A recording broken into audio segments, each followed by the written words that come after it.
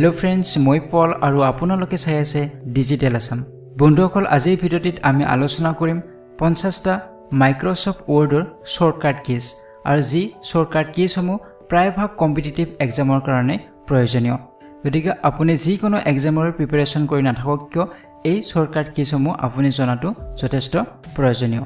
So' let's start the video' so' প্ৰথম shortcut কিটো হৈছে কণ্ট্ৰল প্লাছ এ আপোনাৰ কম্পিউটাৰৰ কী বৰ্ডত কণ্ট্ৰলৰ লগত এ যদি আপুনি একেলগে প্ৰেছ কৰে তেনেহ'লে মাইক্ৰ'ছফ্ট ৱৰ্ডৰ গোটেই পেজটোত যিমানখিনি কণ্টেণ্ট থাকে যিমানখিনি লেটাৰ্ছ আছে বা চেণ্টেঞ্চ আছে গোটেইবিলাক কণ্টেণ্ট ছিলেক্ট হ'ব।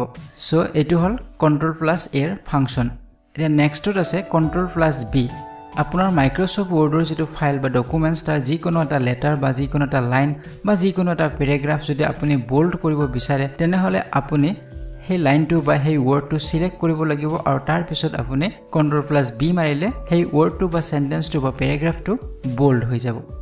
নেক্সট কিটো হৈছে? কণ্ট্ৰল প্লাছ চি আৰু এইটো আমি সকলোৱে জানো। কণ্ট্ৰল প্লাছ চি যদি একেলগে আমি প্ৰেছ কৰোঁ তেনেহ'লে যিকোনো ছিলেক্টেড টেক্সট এটা কপি কৰিব পাৰে।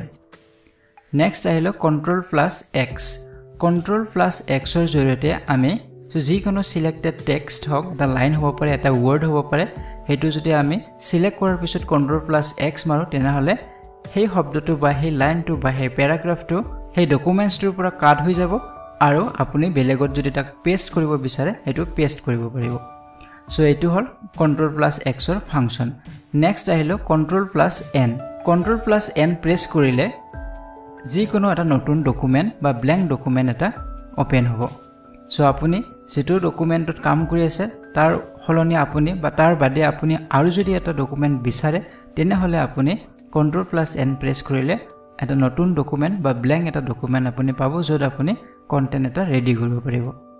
চ' নেক্সট আহিলোঁ কণ্ট্ৰল প্লাছ অ' যেতিয়া আপুনি মাইক্ৰ'ছফ্ট ৱৰ্ডত কণ্ট্ৰল প্লাছ অ' প্ৰেছ কৰিব তেতিয়া আপুনি অ'পেন অপশ্যনটো পাব য'ত আপোনাৰ ফাইলসমূহ ছিলেক্ট কৰিব পাৰিব যিকোনো ফাইল আপুনি ইম্পৰ্ট কৰিব পাৰিব তাৰ পৰা।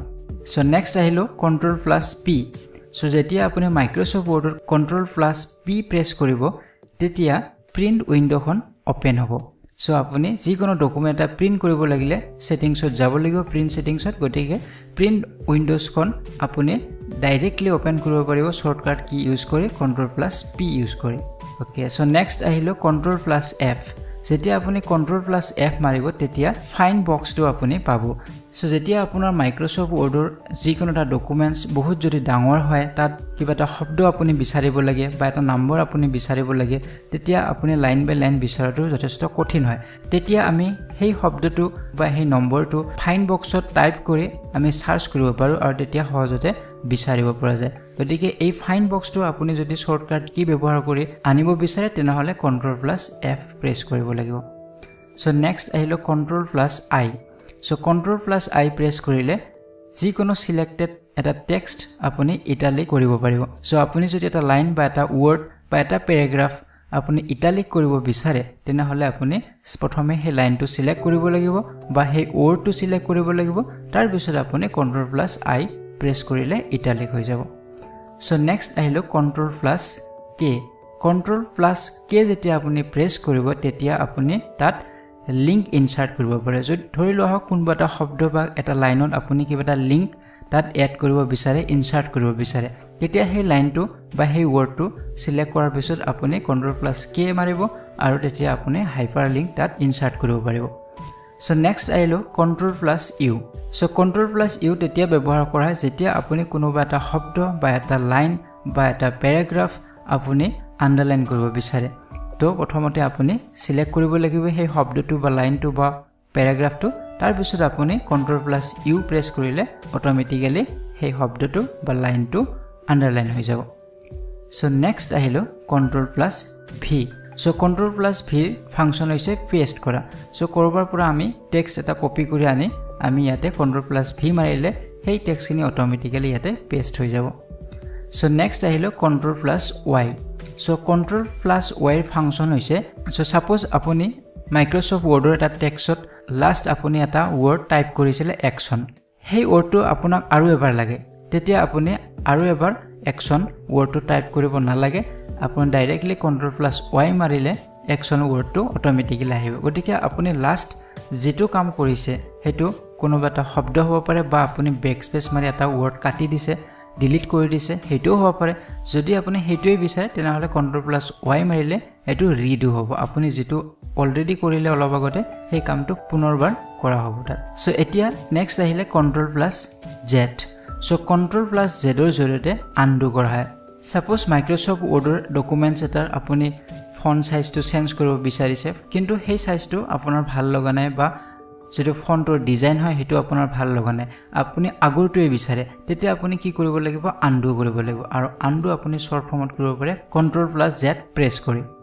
চ' নেক্সট আহিলোঁ control plus H. So' control plus এইচৰ জৰিয়তে আপুনি যিকোনো শব্দ এটা ৰিপ্লেচ যদি কৰিব বিচাৰে আপোনাৰ টেক্সটোৰ পৰা যদি এটা শব্দ ৰিপ্লেচ কৰিব বিচাৰে নাইবা আপুনি সেই শব্দ এটা বিচাৰি আছে আপুনি বিচাৰি পোৱা নাই তেতিয়া আপুনি কণ্ট্ৰল প্লাছ এইচ প্ৰেছ কৰিব পাৰে তেতিয়া এখন উইণ্ড' এখন পপ আপ এখন আহিব। যিটো শব্দ আপুনি ৰিপ্লেচ কৰিব বিচাৰে সেই শব্দটো তাত দিব লাগিব আৰু আপুনি ৰিপ্লেচ অলত প্ৰেছ কৰিলে শব্দকেইটা ৰিপ্লেচ হৈ যাব। ছাপ'জ আপুনি ৰিপ্লেচ শব্দটো ৰিপ্লেচ কৰিব বিচাৰে আৰু ইয়াৰ সলনি ইয়াত বেলেগ এটা শব্দ দিব বিচাৰে। তেতিয়া আপুনি ৰিপ্লেচ শব্দটো টাইপ কৰিব লাগিব আৰু ইয়াৰ সলনি আপুনি কি শব্দ দিব বিচাৰে সেই শব্দটো টাইপ কৰি দিলে যিমানকেইটা টেক্সটোত ৰিপ্লেচ শব্দ আছে গোটেইবিলাক অট'মেটিকেলি ৰিপ্লেচ হৈ যাব। চ' এইটো আছিলে কণ্ট্ৰল প্লাছ এইচৰ ফাংচন এতিয়া আহিলোঁ control plus J so' control plus জেৰ ফাংচন হৈছে যিকোনো আপুনি পেৰাগ্ৰাফ এটা যদি জাষ্টিফাই কৰিব বিচাৰে এলাইনমেণ্ট কৰিব বিচাৰে তেতিয়া আপুনি কণ্ট্ৰল প্লাছ জে প্ৰেছ কৰিব পাৰে। নেক্সট আহিলোঁ control plus L control plus এলৰ ফাংচন হৈছে যিকোনো আপুনি টেক্সট এটা বা এটা লাইন আপুনি চিলেক্ট কৰিলে আৰু সেইটো আপুনি লেফ্টৰ ফালে এলাইনমেণ্ট কৰিব বিচাৰে। তেতিয়া আপুনি কণ্ট্ৰল প্লাছ এল মাৰিলে লেফ্টৰ ফালে এলাইনমেণ্ট হৈ যাব সেই চিলেক্টেড টেক্সটোৰ ঠিক তেনেদৰে নেক্সটত আমি পাইছোঁ control plus Q control plus কিউৰ function হৈছে align selected paragraph to the left so' আপুনি যদি লেফ্টৰ ফালে এটা পেৰেগ্ৰাফ এলাইন কৰিব বিচাৰে তেতিয়া আপুনি কণ্ট্ৰল প্লাছ কিউ মাৰিব লাগিব। তেতিয়া এটা পেৰেগ্ৰাফ আপুনি লেফ্টৰ ফালে এলাইনমেণ্ট কৰিব পাৰিব। আৰু সেই পেৰেগ্ৰাফটো প্ৰথমতে আপুনি চিলেক্ট কৰি ল'ব লাগিব। নেক্সট আহিল কণ্ট্ৰল প্লাছ ই আৰু এই কণ্ট্ৰল প্লাছ ইৰ ফাংচন হৈছে align selected text or line to the centre যদি আপুনি চিলেক্টেড টেক্সট এটা বা এটা লাইন এটা আপুনি চেণ্টাৰত এলাইনমেণ্ট কৰিব বিচাৰে তেতিয়া আপুনি কণ্ট্ৰল প্লাছ ই প্ৰেছ কৰিব লাগিব। তেতিয়া চেণ্টাৰত চিলেক্টেড লাইনটো এলাইনমেণ্ট হ'ব। ঠিক তেনেদৰে কণ্ট্ৰল প্লাছ আৰ যেতিয়া আপুনি প্ৰেছ কৰিব তেতিয়া চিলেক্টেড টেক্সট এটা বা এটা লাইন এটা আপুনি ৰাইটৰ ফালে এলাইনমেণ্ট কৰিব পাৰিব। গতিকে লেফ্টৰ ফালে যেতিয়া কৰিব বিচাৰে কণ্ট্ৰল প্লাছ এল মাৰিব লাগিব আৰু কণ্ট্ৰল প্লাছ আৰ মাৰিলে ৰাইটৰ ফালে এলাইনমেণ্ট হ'ব। কিন্তু প্ৰথমতে সেই টেক্সটো বা লাইনটো চিলেক্ট কৰি ল'ব লাগিব। চ' নেক্সট আহিলোঁ কণ্ট্ৰল প্লাছ ডি আৰু কণ্ট্ৰল প্লাছ ডিৰ ফাংচন হৈছে ফণ্ট অপশ্যন আপুনি যদি ফণ্ট ডিজাইনটো চেঞ্জ কৰিব বিচাৰে তেতিয়া আপুনি কণ্ট্ৰল প্লাছ ডি প্ৰেছ কৰিলে সেই লিষ্টখন আহিব। আপুনি যিটো ফণ্ট ডিজাইন আপোনাৰ পচন্দ হয় সেইটো আপুনি তাত চুজ কৰি দিব পাৰিব। চ' নেক্সট আহিলোঁ control plus shift plus F so' control plus shift plus এফৰ ফাংচন হৈছে চেঞ্জ দ্য ফণ্ট আপুনি যদি ফণ্টটো চেঞ্জ কৰিব বিচাৰে ফণ্টৰ চাইজ বা তাৰ ডিজাইন চেঞ্জ কৰিব বিচাৰে তেতিয়া আপুনি control plus shift plus F press কৰিব পাৰে। নাইবা কণ্ট্ৰল প্লাছ ডি প্ৰেছ কৰিলেও আপুনি ফণ্টৰ অপশ্যনটো পাই যাব। নেক্সটত আছে control plus shift plus greater than so' যেতিয়া control plus shift plus greater than আমি প্ৰেছ কৰিম তেতিয়া চিলেক্টেড ফণ্ট এটা ইনক্ৰিজ কৰিব পাৰিম চাইজ ইনক্ৰিজ কৰিব পৰা যাব। ফৰ এক্সাম্পল যদি আমি ইনক্ৰিজ শব্দটো চিলেক্ট কৰোঁ আৰু আমি যদি control plus shift plus greater than press কৰোঁ তেতিয়া এই ৱৰ্ডটো অট'মেটিকেলি ইনক্ৰিজ হৈ যাব। চ' নেক্সটত আহিলে control plus shift plus less than যেতিয়া চিলেক্টেড টেক্সট এটাৰ ফণ্ট চাইজটো আমি ডিক্ৰিজ কৰিব লাগে কমাব লগা হয় চাইজটো তেতিয়া আমি control plus shift plus less than press কৰিলে ফণ্ট চাইজটো ডিক্ৰিজ হ'ব। তাৰপিছত আছে control plus F control plus F press কৰিলে আমি যিকোনো এটা শব্দ আমি লেফ্টৰ ফালে মুভ কৰিব পাৰিম। নেক্সটত আছে control plus G so' control plus G press কৰি যিকোনো এটা শব্দ আমি ৰাইটৰ ফালে মুভ কৰিব পাৰোঁ। So' control plus F press কৰিলে লেফ্টৰ ফালে মুভ হ'ব আৰু কণ্ট্ৰল প্লাছ জি প্ৰেছ কৰিলে ৰাইটৰ ফালে এটা ৱৰ্ড মুভ হ'ব। নেক্সট আছে control plus H so' control plus H আমি তেতিয়া প্ৰেছ কৰোঁ যেতিয়া এটা লাইনৰ আমি প্ৰথমত যাব বিচাৰোঁ আৰম্ভণিত যাব বিচাৰোঁ বা এটা পেৰেগ্ৰাফৰ আমি আৰম্ভণিত যাব বিচাৰোঁ তেতিয়া কণ্ট্ৰল প্লাছ এইচ প্ৰেছ কৰিলে আমি সেই পেৰাগ্ৰাফটোৰ ষ্টাৰ্টিঙত আমি যাব পাৰিম। চ' নেক্সট আছে কণ্ট্ৰল প্লাছ আই আৰু কণ্ট্ৰল প্লাছ আই প্ৰেছ কৰা হয়।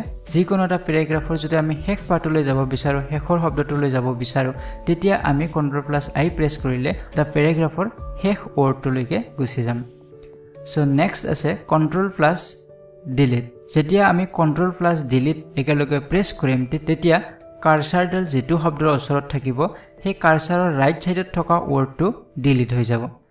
চ' নেক্সটত আছে control plus back space so' control plus back space press কৰিলে কাৰ্চাৰডালৰ লেফ্ট ছাইডত থকা ৱৰ্ডটো ডিলিট হৈ যাব। So' control plus del press কৰিলে কাৰ্চাৰডালৰ ৰাইট ফালে থকা ৱৰ্ডটো ডিলিট হ'ব আৰু control plus back space press কৰিলে কাৰ্চাৰডালৰ লেফ্ট ফালে থকা ৱৰ্ডটো ডিলিট হৈ যাব। চ' নেক্সটত আছে কণ্ট্ৰল প্লাছ এণ্ড যিকোনো এটা ডকুমেণ্টত যেতিয়া কণ্ট্ৰল প্লাছ এণ্ড প্ৰেছ কৰা হ'ব তেতিয়া সেই ডকুমেণ্টটোৰ শেষৰ ৱৰ্ডটোলৈকে মুভ কৰা হয়। যদি আপুনি মাজত আছে ডকুমেণ্টটোৰ তেতিয়া আপুনি কণ্ট্ৰল এন মাৰিলে একেবাৰে শেষৰ পাৰ্টটোত আপুনি গৈ পাব। চ' নেক্সট আছে কণ্ট্ৰল প্লাছ হোম যেতিয়া আপুনি কণ্ট্ৰল প্লাছ হোম প্ৰেছ কৰিব তেতিয়া ডকুমেণ্টছটোৰ একেবাৰে ষ্টাৰ্টিঙত বা বিগিনিঙত আপুনি মুভ কৰিব পাৰিব। যদি আপুনি শেষৰ ফালে আছে বা মাজত আছে তেতিয়া আপুনি কণ্ট্ৰল প্লাছ হোম প্ৰেছ কৰিলে ষ্টাৰ্টিঙত বা বিগিনিঙত আপুনি যাব পাৰিব। চ' ইয়াৰ পিছত আছে F one so' F one press কৰি আপুনি হেল্প বিচাৰিব পাৰিব। যদি আপোনাক অনলাইন হেল্প লগা হয় তেতিয়া আপুনি এফ ওৱান প্ৰেছ কৰি হেল্প বিচাৰিব পাৰিব যিকোনো ক্ষেত্ৰত। চ' নেক্সট আছে shift plus F three so' shift plus F three press কৰিলে আপুনি যিকোনো এটা ৱৰ্ড চিলেক্ট কৰি সেই ৱৰ্ডটোৰ কেছ চেঞ্জ কৰিব পাৰিব। সেই ৱৰ্ডটোক আপুনি গোটেইকেইটা লেটাৰ কেপিটেল কৰিব পাৰিব বা প্ৰথম লেটাৰটো আপুনি কেপিটেল কৰিব পাৰিব বা গোটেইকেইটা স্মল লেটাৰ কৰিব আপুনি পাৰিব। গতিকে আপুনি ৱৰ্ড বা যিখিনি আপুনি টেক্স চিলেক্ট কৰিব সেই চিলেক্টেড টেক্সখিনিৰ আপুনি কেছটো চেঞ্জ কৰিব পাৰিব। আপোনাৰ কেপিটেল লাগিলে কেপিটেল কৰিব পাৰিব স্মল লাগিলে স্মল কৰিব পাৰিব। চ' নেক্সট আছে shift plus insert so' shift plus insert press কৰি আপুনি পেষ্ট কৰিব পাৰে। যেনেকৈ কণ্ট্ৰল প্লাছ ভি প্ৰেছ কৰিব পেষ্ট কৰিব পাৰে।